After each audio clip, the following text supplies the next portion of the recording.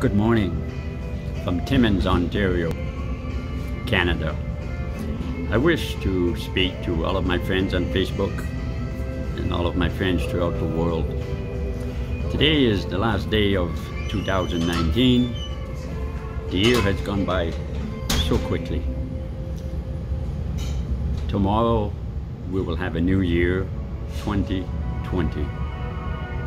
Another very important year. So I hope that your year has been good, that your health has been good. I would like to share a few thoughts.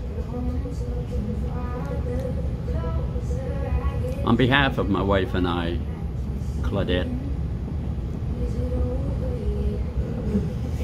may we hopefully make the resolution to continue the battle. Life is a battle, especially a spiritual battle. Maybe we fight for life, the right to life. In Canada, there is no right to life. In Canada, we destroy the baby in the womb at any time, from conception to birth. And we're also, with euthanasia, many of the old folks are being killed. So we live in a culture of death. We must fight this, especially with prayer and action. In our words, come against it. And may we also spread the gospel of Jesus Christ. Yes, spread the gospel of faith, hope, and love because that's what Christianity is all about faith, hope, and love. And there's so much love lacking in the world today. We live in a world of me, me, myself, and I. A very selfish world for the most part. So let us let us be beacons of faith, hope, and love amidst the darkness of this world. And I ask as a Canadian, let us pray for a new Canada, a new government. The Christian Heritage Party, many people don't know of them because the media is not for them.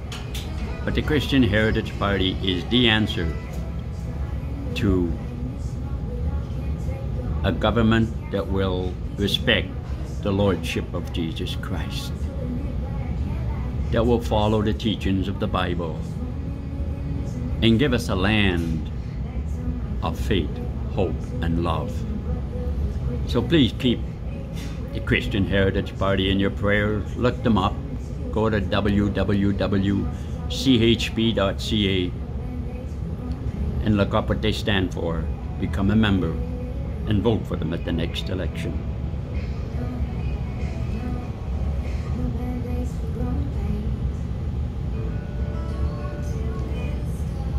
I have two websites. I'm a writer, a poet. I have two websites. I invite you to go to them. www.strive, you know when you reach out for something, striveforheavennow.ca. I repeat, www.striveforheavennow.ca. The other website, www.aborterrorism.ca. It's the word abortion with the word terrorism put together. Abort terrorism. Please look them up. You'll find lots of good information there. And I finish with the words of my mother. Mom said to me one day as I was her caregiver, she says, Donald. Yes, Mom. She said a, a statement of three lines. She said, Time is precious. It gives us time to love. Time to have God's preciousness. I was so awestruck by those words. I wrote a poem about it You can find the poem on my website, striveforheavennow.ca. If you scroll down to the bottom of the page, you'll see the poem, Time is Precious.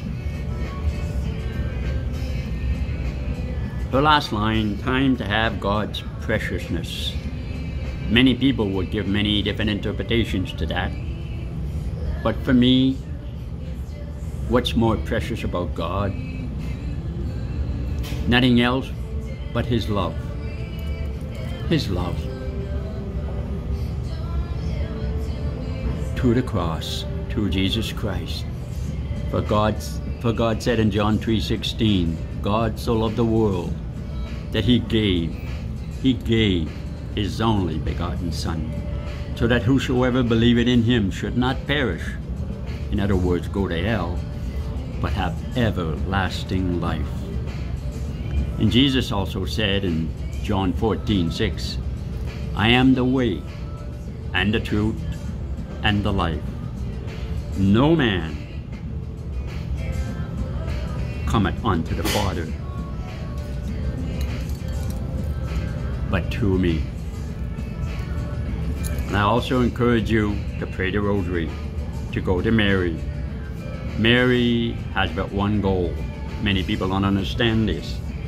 But as the mother of God, as the mother of Jesus, Mary has one goal, and that is to save souls and bring them to Jesus.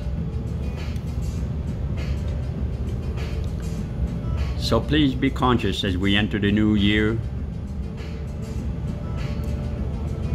that today, tomorrow could be our last day. And I repeat, time is precious. It gives us time to love, time to have God's preciousness.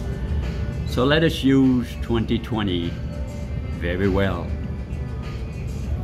and pray.